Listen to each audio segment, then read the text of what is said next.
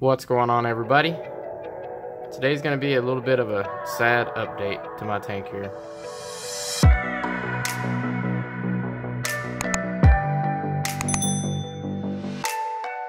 So, uh, about two weeks ago, I, um, I cleaned my MP40 there. You know, I took it out like you're normally supposed to do, rinse it out, uh, use a toothbrush to clean it, clean the anemone guard there, and I put it back on the tank. And then once I had it, you know, in the pulse mode again, I noticed that the waves, you know, they were much bigger than what they currently are right now. And I was like, oh man, you know, that's great. We've got, you know, a lot more flow and in the tank, and now the LPS will sway back and forth more. The uh, SPS will probably get a little bit more food. Um, and I just assumed everything was good. One thing I didn't necessarily consider was my livestock in here, the, the fish.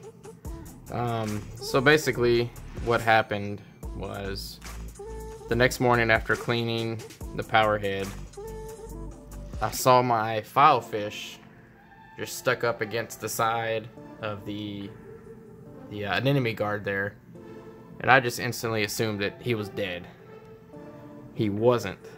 He was still somewhat alive, but when I turned the the um, MP40 off, he kind of swam off like he was normal, and you know I was like, okay, good. You know he wasn't up there long. Um, but it turned out, you know, I don't know how long he, he was up there because it could be, you know, 12 hours or so. I don't, I don't even know exactly. I'm just assuming it was roughly 12 hours before or after I cleaned the guard until I actually saw him the next morning. Uh, but anyways, he just swam off, just kind of like normal. Then he started heading towards the bottom of the substrate here. He was swimming a little funky he was going slow. He was kind of he was jetting and then just stopping and kind of gliding. And so I, I gave him probably a couple hours to, you know, hopefully regain his balance uh, and all that good stuff. But he never fully regained, you know, to 100%. And after a couple hours, the clownfish here, they were going up to him, checking him out, uh, pecking at him a little bit, and the filefish, he didn't even react to it. He, you know, I already knew at that point that it was pretty much game over, and I wasn't gonna let the um, the blue leg hermit crabs that I have in here or the clownfish just nip at them alive. Um, so what I did, and if you don't want to hear this part, go ahead and skip forward. So I basically just took them out, got the net, threw them down to garbage disposal, turned it on. It's the quickest way that, you know, I felt was the best way to, you know, go ahead and take care of them. Really sucks because I, I, really like that fish. Um, it's the first file fish that I've ever had. And uh, he definitely kept this tank clean of Aiptasia and I'm sure some other pests. And he didn't touch any corals that that I was aware of. Well, I'll take that back. So I could never keep acans in this tank. Um, and I just kind of attributed it to either one, my tank wasn't really up to spec for acans or, or lords, whatever you want to call them. Um, trying to see, there's one by my little logo down there. It's in a bad spot. Um, but I really couldn't keep them fluffy. I can keep them for, I don't know, maybe a week or so, and then they would just stay retracted. And now that the filefish is gone, the the acan is just fluffy and happy as can be, and the feeders are out. Um, so I guess he did have a little taste for uh, lords. But even if he was the one actually eating them, you know that I was okay with that. I, I just I just came to the the point where I was like, you know, hey, I just won't have any lords in here. That's fine with me even though I really like them, I was like, you know what? It's the benefit outweighs, you know, just being able to have one specific coral in here. Um, it's been a couple weeks since he's been gone, and I already see three Aiptasia in this tank. There's one big one um, in the back. I really can't get the camera back there. Uh, yeah, maybe I can. Um, but real quick, I don't know if you can see them in there, but in between the Zoas, uh, those uh, stargazers and the red looking ones, whatever those are, right in the middle where the black little area is, the dark area. There's two there. And we roll around here. And let's see if you can see it. Yeah, it's going to be kind of hard to pick up, but anyways, there's one there. Um, I've got a bob. Uh, like an inappropriate reefer has a, or used to have that big Aiptasia in his tank. but I, I, don't like Bob, so Bob's about to get some uh, either Aiptasia X or a F Aiptasia from from Frank's tanks, because um, I don't like Aiptasia. I I can't stand them. I need to take care of them now while there are not many of them in there, you know, that I see. But yeah, uh, I lost a fish. Um, you know, it really sucks when you lose a fish. I mean, I, I, I really take it to heart. I, I can count on, uh, let's see, let me think here.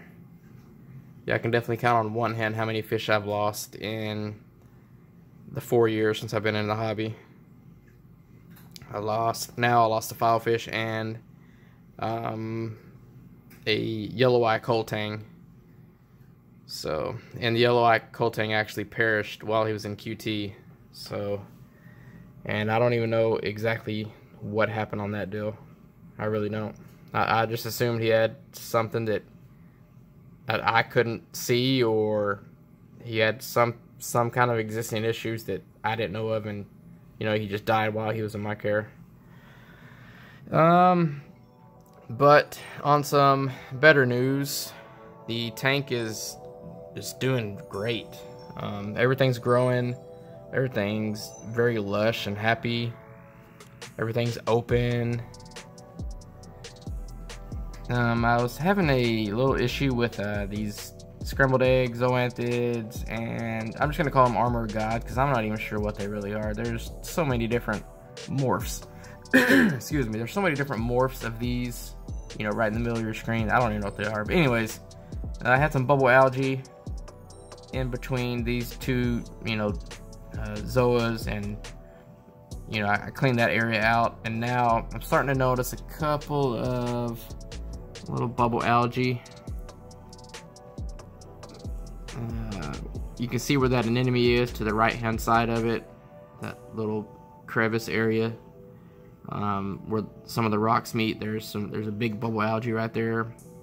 There's a few more just spread out throughout the the whole tank, and I'm probably saying maybe five or six decent sized bubbles, which I've been working on going in there, picking everything out, and getting rid of it that way. But I may actually just start to use um, Vibrant just to get rid of it, and also add a couple of emerald, emerald crabs to, to see if they'll help with the issue. Because I really don't want that to start taking foot. Also, I've noticed those little, those pain in the ass little starfish. Uh, I've seen one or two on the glass and I hate those things just as much as I hate Aiptasia. I, I just can't stand those things. Even though I've had them in pretty much every single one of my tanks and they don't necessarily do any harm that I've seen, but I just can't stand them. Uh, what else is going on? Oh, yeah, yeah, yeah, yeah. So, let me see if I can get my hand out of the shot here. My SPS, it's starting to actually encrust the plugs there. Let me see if I can turn the white balance down. There you go. So this one up front, this green one, uh, is an orange passion I got from North Texas Coral. In the back there is a Slimer coral. Uh, right in the center, in front of that Monty, is also another Slimer. And then the bigger, or yeah, I guess the bigger colony there, or a mini frag colony, is a um, uh, candlelight acropora. And then in the back, it's just a your standard green bird's nest. Um, everything is starting to encrust, which is really cool to me. It's They've been in here, I want to say, probably two months now. And on this orange passion, I've got a couple of little nubs starting to grow out from the base where it's encrusting. So pretty soon this sucker's going to start growing up and just uh, branching out. And that's just really stoked about that. Same thing with that Slimer. It doesn't have any little nubs yet, but you can see it's starting to uh, cover up the base there. And there's another uh, bubble algae on the back of the disc there on that Slimer. The Monties, let me go on this side here. My Monties are starting to uh, do that curling up thing that they do. You can probably see since uh, one of my last updates that it was just a flat piece and now they're starting to curl up everywhere. Which is pretty cool. If they start to curl up, that's cool. Um, but if they start to grow out a little more, I'm probably just going to have to keep chopping them. Because this rock is not that big. I really want to keep this rock just for uh, sticks mainly. But I just can't get rid of this this Monty. I love this little Monty. Or I should say this big Monty. My frag rack is in desperate need of some more fragging. Everything's starting to actually grow on the, the rack itself. You can see where those Gatorades are, and there's some promethazine mixed in there. Half of that is actually on the rack, so I just need to get off my ass and stop being lazy and start fragging some corals there.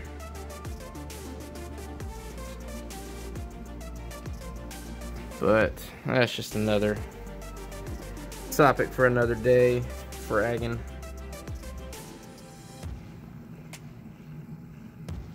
You know, I've noticed some of these zoas, they're just, they're growing like crazy. I mean, like these rainbow infusions, I already fragged those two or three times now. And then, you know, at the same time, I frag pretty much every single zoa that's up here. And then this, um, I think it's a blood agave. I think it's still got one or two polyps, you know, the original frag. So, I don't know. Some of them, they're just slow growers. I don't know what it is. Maybe it could be the location that they're in, but it's what it is. Uh, this anemone here, I bought it, I don't know, probably four or five months ago, and it actually split. And this guy is just not happy. I mean, I don't know what his deal is. He just stays there, and he may move, you know, centimeter one way or the other way, but I don't know. Maybe the hammer above him is just keeping him in check, and just not letting him uh, be happy. But this guy always stays here. He's happy. And the green one, he looks like shit right now, but he is, he's happy. He, uh, he typically opens up about 4 o'clock when the lights come on. He's still doing his thing, opening up, and he'll be fully open here, uh, here shortly.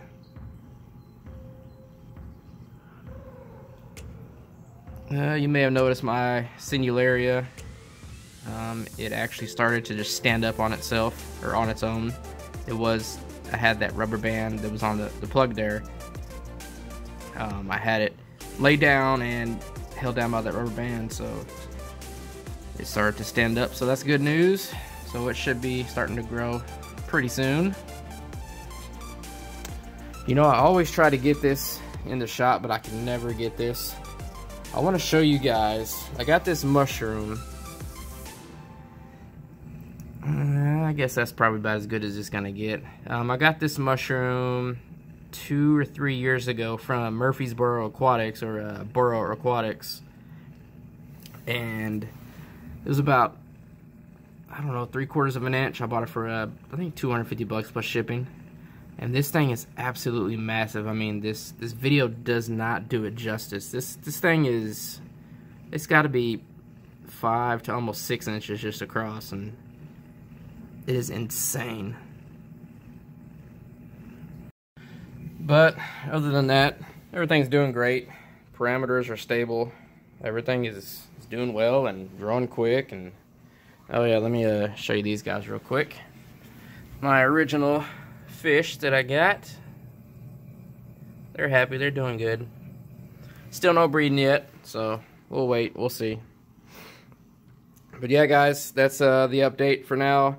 Sorry it's not necessarily a, uh, a good update, but uh, also want to remind you guys that anytime you clean your power heads, when you put, you know, put the power head back in the tank and maybe have an enemy, put your enemy guard on there. Just make sure to to lower the intensity or lower the waves or lower whatever you got to do. So, you know, give it a week or so and slowly ramp it up so that way, you know, something doesn't happen like what happened to me is, you know, a fish get caught in it or who knows what else gets caught in it.